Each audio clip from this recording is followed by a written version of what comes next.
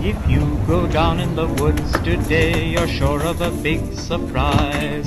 If you go down in the woods today, you better go in disguise.